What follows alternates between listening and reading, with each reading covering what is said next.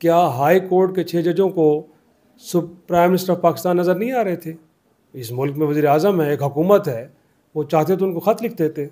उन्होंने ख़त आपको क्यों लिखा है? इसका मतलब है कि बादी नज़र में वो जजेस हुकूमत को फरीक समझते हैं या कम अज़ कम उनका इन पर अतमाद नहीं है, लिहाजा उन्होंने आपको ख़त लिखा है।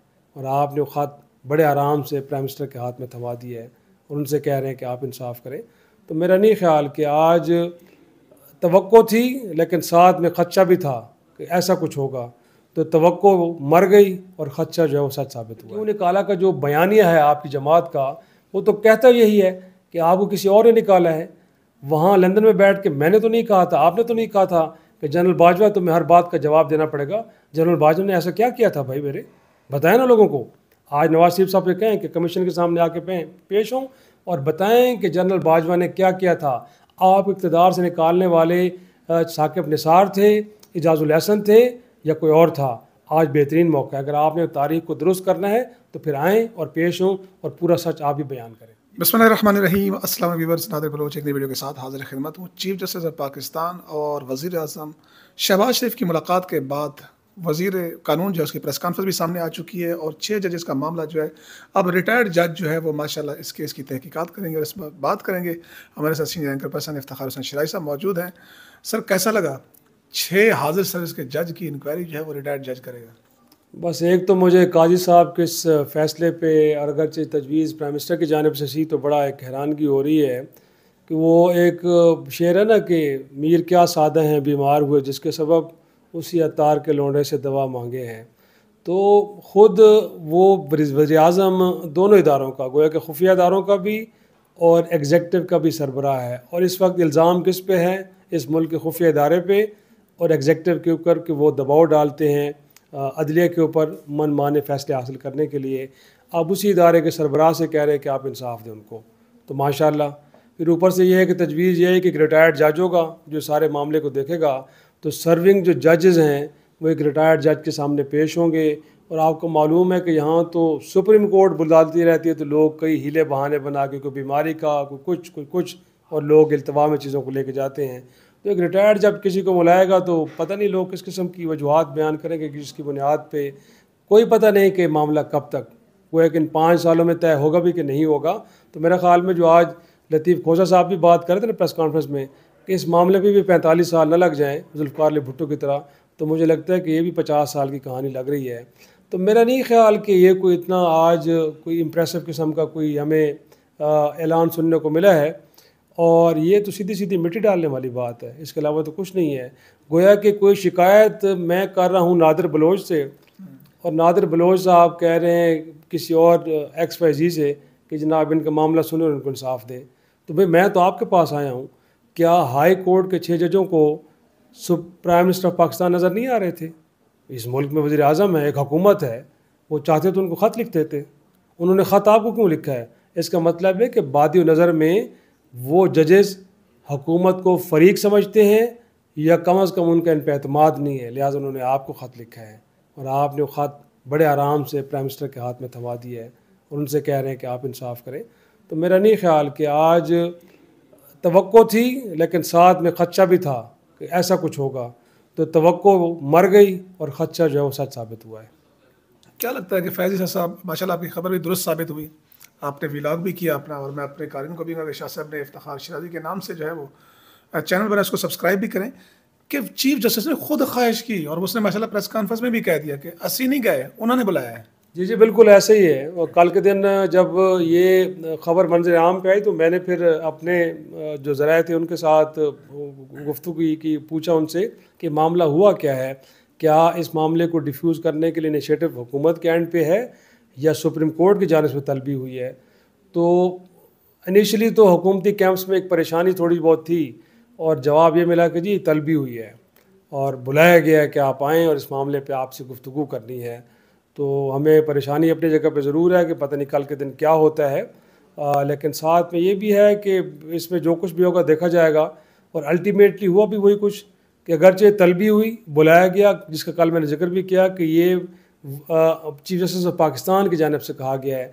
लेकिन मेरा ख्याल ये था कि क्योंकि हाई कोर्ट के छः ऑनरेबल जजेस ने ये मामला टेकअप किया है तो इस मामले को काजी फैसल साहब ने बड़ा सीरियस लिया है और वहाँ से ये कहा जाएगा कि कोई बहुत एक संगीन वैत का मामला है, लिहाजा इसके ऊपर सुप्रीम कोर्ट क्या करने जा रही है, लिहाजा इस मामले पे वज़ी अजम को आगाह करना था, लेकिन ये नहीं था कि जिस तरह तारर साहब ने कहा है कि उन्होंने इस ख्वाहिश का इजहार किया है वह कहीं तलबी नहीं थी, बल्कि ख्वाहिश थी, और उसके नतीजे में फिर बुलाया भी गया तो तजवीज़ भी वो तस्लीम की गई, बकौल नाजर आज़म नज़ीर तार साहब के वजी कानून के, कि हमने तजवीज़ दी कि इस मामले पर हम एक कमीशन बना देते हैं यक रुकनी, और वो फिर इस मामले को देखेगा, जिसके ऊपर ख़ुद, फिर उन्होंने भी तायद की कि बिल्कुल ठीक है, ऐसे ही कर लिया जाए। तो मेरा ख्याल है कि बतौर एक सहाफ़ी के मैं तो इस पर कुछ ज़्यादा पुरुद नहीं हूँ कि जितना सीरियस मैटर है, और फिर ख़ुद नादिर देखा जाए तो ये जमात जिसके बारे में आज़म नज़र साहब ने कहा है कि वो मुतासरा जमात रही है। ख़ुद प्राइम मिनिस्टर के बारे में कहा है कि मुतासरा रहे हैं।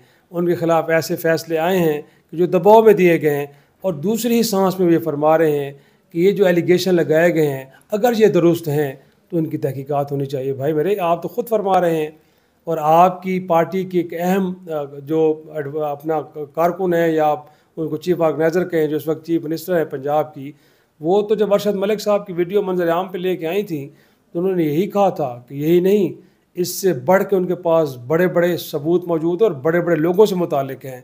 तो मेरे ख़्याल में आज के दिन ये भी कहा जाता कि माजी में जिन लोगों ने ये क्लेम किया है कि अदलिया को दबाव में ला के डरा के, धमका के उनसे फ़ैसले लिए गए हैं और जो लोग माजी में ये क्लेम करते रहे हैं, ये कमीशन उनको भी बुलाएगा और उनसे भी पूछेगा कि जो आपके पास सबूत है वो यहाँ पे पेश करें।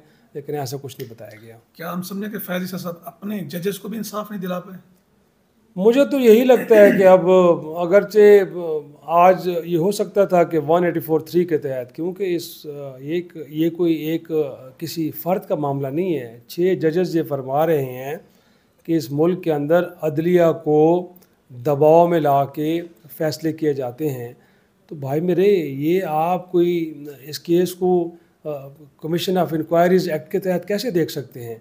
ये तो अवामी महमियत का मामला है। एक ऑर्गन ऑफ़ स्टेट ये गिला कर रहा है कि वो आइन के तहत जिन्होंने एक हल्फ उठाया है कि हर मुकदमे को किसी फेवर और फेयर के बगैर देखेंगे और कानून और इंसाफ के मुताबिक फ़ैसला करेंगे, वो लोग, वो ऑर्गन ऑफ़ स्टेट ये कह रहे हैं कि हम आज़ाद नहीं हैं, हम दबाव के नीचे सब कुछ करते हैं। और ये तो आपने देख लिया है, मैं नहीं कह रहा, ये मुस्लिम लीग नून कहती है कि जो एहतसाब अदालतें थीं, उनको मैनेज किया गया जो जेआईटी बनी, जिसको छः माह का वक्त दिया गया, फिर वो कहते हैं कि एक निगरान। तो फरमाते हैं कि दुनिया के अदालती तारीख में तो पहली दफ़ा हमने देखा है कि कोई निगरान जज भी होता है, जो देख रहा होता है कि चीज़ें उस तरह आगे बढ़ रही हैं कि नहीं बढ़ रही। तो वो खुद उनकी तकारीर पड़ी हैं, जिसमें वो फरमाते हैं कि फ़ैसले लिखे कहीं और जाते हैं और सुनाए सुप्रीम कोर्ट में जाते हैं। आज उस जमात का वज़ीर कानून कह रहा है कि शायद इनमें कोई सदाकत है तो फिर उनको देखना पड़ेगा। भाई मेरे, आप तो खुद ये फरमा चुके हैं मुझे क्यों निकाला का जो बयानिया है आपकी जमात का, वो तो कहता यही है कि आपको किसी और ने निकाला है। वहाँ लंदन में बैठ के मैंने तो नहीं कहा था, आपने तो नहीं कहा था कि जनरल बाजवा तुम्हें हर बात का जवाब देना पड़ेगा। जनरल बाजवा ने ऐसा क्या किया था भाई मेरे? बताएँ ना लोगों को। आज नवाज़ शरीफ साहब से कहें कि कमीशन के सामने आके पेश हों और बताएँ कि जनरल बाजवा ने क्या किया था। आप इकतदार से निकालने वाले साकिब निसार थे, इजाजुल हसन थे या कोई और था? आज बेहतरीन मौका है। अगर आपने तारीख को दुरुस्त करना है तो फिर आएँ और पेश हों और पूरा सच आप भी बयान करें। ये जो सवाल जजेस के कंडक्ट पर हो रहे थे जजेस ने कोई खिलाफ आइन काम किया है? किस किसके सामने वो फरियाद करते इस मामले की? नहीं मुझे बताएँ कि उन्होंने जो हल्फ उठाया है वो तो उनको यही कहता है कि अगर उनके ऊपर कोई दबाव है वो आइन के तहत अपना काम सर अंजाम नहीं दे सकते तो उनके पास तो फॉरम यही है कि वो अपनी जो इदारे का सरबराह है अदलिया का सरबराह चीज़ ऑफ़ पाकिस्तान है वो अपने घर के सरबराह के पास गए हैं कि हमें ये प्रॉब्लम आ रही हैं और हमने अपने हाई कोर्ट के चीफ जस्टिस को 2023 में भी इससे आगाह किया। हम दो खतूत लिख चुके हैं। इनको बता चुके हैं कि हमारे साथ क्या हो रहा है हमारी फैमिली के साथ क्या हो रहा है। ये तो नहीं सुन रहे लिहाजा हम अपनी रुदाद आपके पास लेके आए हैं कि खुदा इसको देखें हम दबाव के तहत कब तक फैसले करते रहेंगे। तो मेरा ख्याल में उन्होंने कि, किस मिसकंडक्ट का मुजाहरा किया है।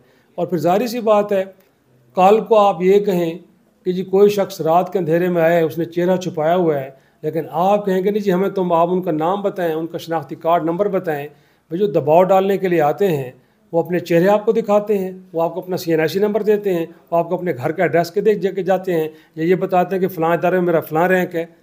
ये अगर आप उनसे सबूत मांगेंगे तो मुझे लगता है कि वो उससे माजूरी का इजहार करेंगे, और फिर आप एक नया कहानी शुरू कर देंगे कि देखें, ये तो महज इल्ज़ाम थे, सबूत तो था कोई नहीं, लिहाजा मामले को आपने कारपेट के नीचे कर देना है।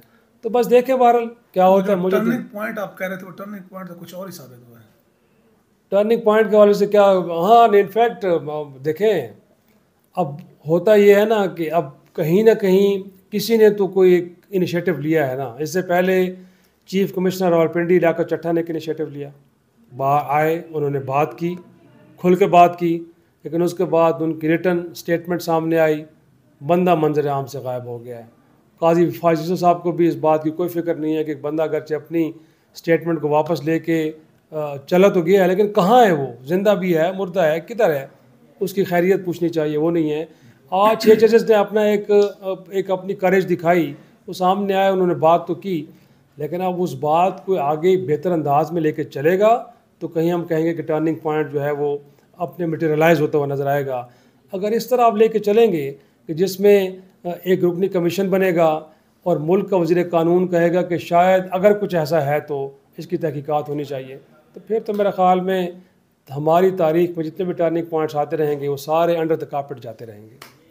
फायद साहब ने एक लिहाज से अपने जजेस को मायूस किया। अगर कोई और भी रबता करना चाहता, कोई बात करना चाहता, या इस सिलसिले में बाकी भी हाई कोर्ट्स अपना इनपुट देती तो अब लगता है रास्ता रुक गया है। मेरा ख्याल है, लोग अपनी स्ट्रगल को जारी रखें, देखें, इस तरह के लम्हात ज़रूर आते रहेंगे, लेकिन स्ट्रगल ऑन रहनी चाहिए। मेरा तो ख्याल है कि आज के दिन यहाँ बैठ के जो टी ओ आर्स हैं, वो काजी फाजिसा साहब बताते हैं कि अगर कमीशन बना भी आप रहे हैं तो टी ओ आर्स मैं आपको बता रहा हूँ, और उसके अंदर ये ज़रूर होना चाहिए। वो तो खोसा साहब कहना कि भुट्टो साहब को पैंतालीस साल बाद इंसाफ क्या मिलना है? ये शख्स दुनिया से चला गया, और जिस तरह का राय भी आई है सुप्रीम कोर्ट की जानब से, गोया कि यह कि उनको फेयर ट्रायल नहीं मिला दैट्स इट ख़त्म कहानी। फेयर ट्रायल ना देने वाले मुजरम नहीं हैं, उनको कुछ नहीं कहा गया। इसी तरह मुझे क्यों निकाला, वो वजारत उज़मा से चले गए, लेकिन उनको निकालने वाले मुजरम नहीं उनको भी कुछ नहीं कहना। लेकिन रिसेंस पार्ट्स के अंदर तो एक सबक वजी अजम जिस वक्त जेल में बैठा हुआ है, उसके ख़िलाफ़ इद्दत में निकाह हो, उसके ख़िलाफ़ तोशाखाना का हो, एक सौ नबे मिलियन पाउंड हो, या साइफ़र का मामला हो ये तो आज के केसेस हैं जिनके ख़िलाफ़ अपीलें में भी चल रही हैं। तो अगर इस मुल्क की एहतसाब अदालत हो या हाई कोर्ट्स हो, उनके जज ये कह रहे हैं कि हमने फैसले दबाव के तहत दिए हैं तो क्या आप इनको रिवर्स नहीं करेंगे? आज इसका ज़िक्र होना चाहिए था यहाँ पे कि हाँ हम करेंगे। किसी ने सवाल भी किया है कि उन फैसलों का क्या होगा तो वहाँ पे आप आए बाएँ शाएँ कर रहे हैं वज़ीर कानून भी कि इसके मामले में मैं तो कुछ नहीं कह सकता। क्यों कुछ नहीं कह सकते? अगर एक जज हल्फ लेके ये कहे कि मैंने ये वाला फ़ैसला दबाव के तहत दिया है। वो बशीर साहब हैं जो कि रिटायर होकर चले गए हैं या कोई और लोग हैं तो क्या आप उन फैसलों को रिवर्स करेंगे कि नहीं करेंगे? आपको करना चाहिए। और ये काजी साहब को बताना चाहिए था आज वजी कानून और प्राइम मिनिस्टर ऑफ़ पाकिस्तान को कि भाई मेरे, अगर जजेस ने हलफ के ऊपर ये कह दिया कि ये फैसले दबाव के तहत दिए गए हैं तो इन फैसलों की फौरी तौर पर रिवर्सल होगी। आखिरी सवाल सर ये कि शौकत अली सदी के केस में हमने देखा कि जी माजी में जो है जुडिशल कमीशन ने कोई तहकीकात नहीं कराई। तो लिहाजा ये तयन नहीं हो सका। तो आपने भी तो तयन नहीं किया और वैसे ही कहा कि चलो जी, मरात लो कार जाओ। हाँ नहीं ज़ाहिर सी बात है, तयन तो होना चाहिए। मैं तो इसलिए कह रहा हूँ कि जुल्फ़ार अली भुट्टो के मामले पे भी तयन होना चाहिए। भाई मेरे, जो लोग हैं, या चले गए इस दुनिया से, लेकिन उनको आप मुजरम डिक्लेयर करें, वो कौमी मुजरम हैं। उन्होंने एक जुडिशल मर्डर किया है। आप पूरी बात करें। ये नहीं है कि उनको फेयर ट्रायल, अगर फेयर ट्रायल नहीं मिला तो फेयर ट्रायल ना देने वाले भी तो मुजरम है ना। इसी तरह किसी को निकालने वाले इकतदार से, वो भी उसी तरह मुजरम है। और बाद में अगर कोई किसी ने इस तरह किसी प्राइम मिनिस्टर को उजलत में फेयर ट्रायल दिए बगैर सज़ा दी है तो उनको भी आप मेरे ख्याल में लेके आए कटहरे में। बहुत शुक्रिया शरी आपने कीमती वक्त दिया। इन नई वीडियो के साथ हाजिर खिदमतों की इजाज़त दीजिए। अल्लाह हाफ़